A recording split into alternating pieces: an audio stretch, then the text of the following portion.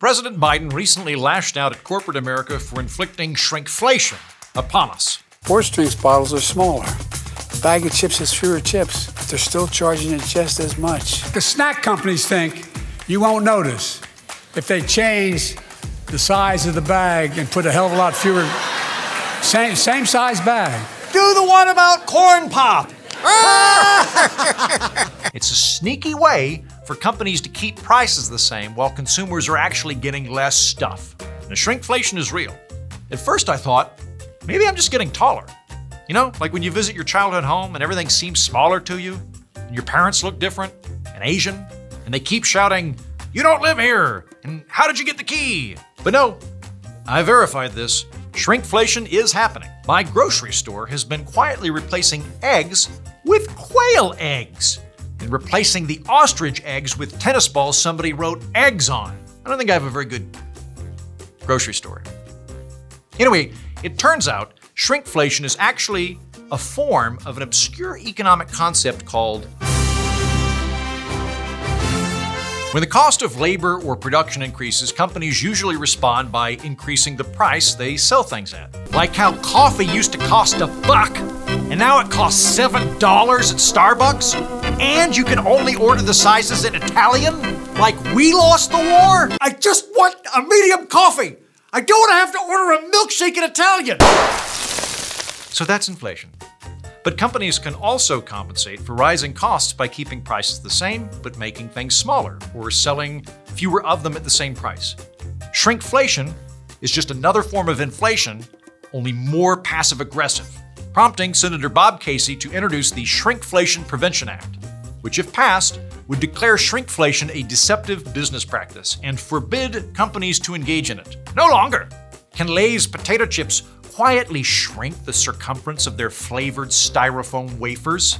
Cinnamon Toast Crunch cannot quietly put less childhood diabetes in the box. Now, to Bob Casey's credit, this act would make companies less passive aggressive, but it wouldn't fix the underlying problem. As costs of production rise, companies would just hike up the prices instead. And while I do appreciate trying to keep companies from tricking people into not realizing that inflation's actually happening, which it is, families on a tight budget might want to be able to purchase smaller units than getting larger, honest units they can't afford. It doesn't fix the underlying issue, which is not labeling, but inflation. So what's driving that? It's time to crack down on corporate greedflation. Right. So Elizabeth Warren et al. maintain that the underlying cause of recent inflation is greed. You know, the mathematically precise, easily quantifiable, legally specific term greed, which we can totally legislate against.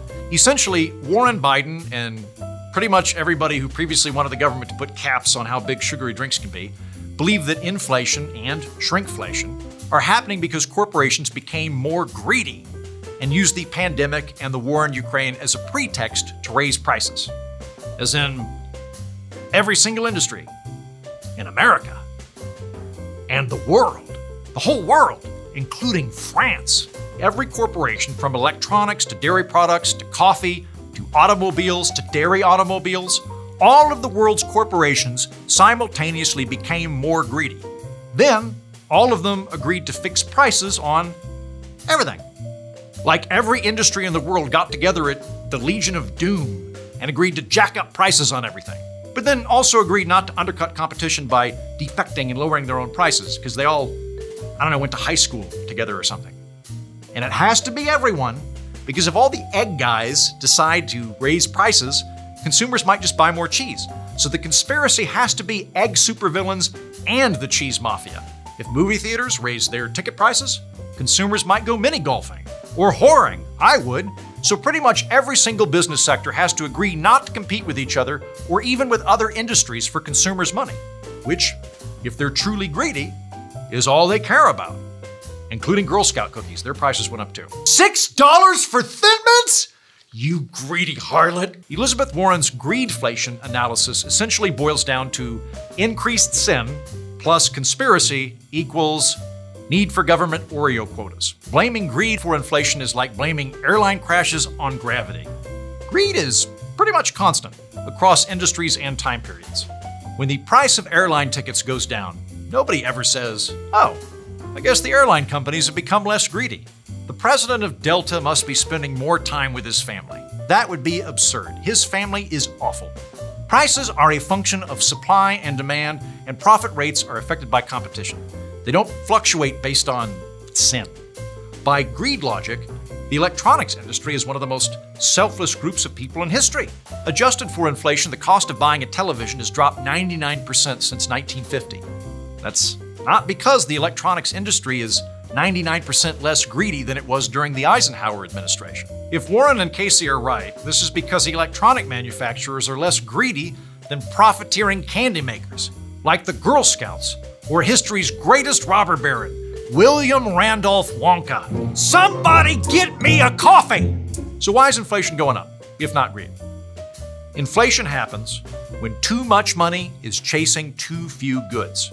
You print more money, money is worth less. The government responded to the pandemic by spending tons of money on programs, unemployment, and stimulus checks. But because the government also shut down the economy, tax revenues were lower. So there was an even bigger deficit than usual. The Federal Reserve covered that deficit by creating huge amounts of new money. As of 2024, the year that I and most of my friends live in, there is 32% more money in circulation than back in 2019. The monetary supply is swollen engorged. There's indisputably more money than there was five years ago.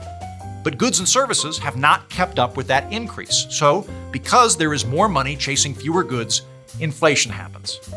That's it. Now, there is a potentially damning counterpoint that Bob Casey brings up that I would like to address that corporate profits spiked in 2020 and 2022. And if you run into Elizabeth Warren at a bar, whew, she will corner you and tell you about how oil companies and food producers are making bumper profits. She'll do that three or four times, even after you ask her to stop. Lady, I'm just trying to enjoy my drink before the Cialis kicks in. They say if inflation is rising and corporations were just passing costs on to the consumer, we'd expect to see their profit margins the same. But profit margins are actually higher. What gives? Perchance greed? Well, people weren't spending as much money during the pandemic because they couldn't. They couldn't go out to watch movies or eat hamburgers or basically drive anywhere, including my birthday, or even to my birthday on Zoom, which nobody attended.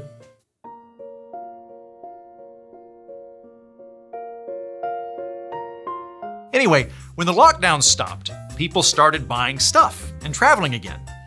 So, yeah, when the economy started up again, because people were buying more hamburgers and movie tickets and gasoline, companies made more profit. You make more profit when you sell more stuff. It's not surprising that companies have higher profits now after the pandemic than they did during the lockdown. We would expect to see that. And listen, there are good arguments we can get into about how concentrated corporate power is and if we need stronger antitrust laws to increase competition. Good conversation but for another video. The idea that inflation is caused by greed instead of this, and that lawmakers can also ban greed through clever laws, is folly. Yes, I said it folly. Now, if you'll excuse me, I'm off to go buy a cartridge of fewer, tinier bullets because I have a hankering for a cup of coffee. Hot coffee, medium, now!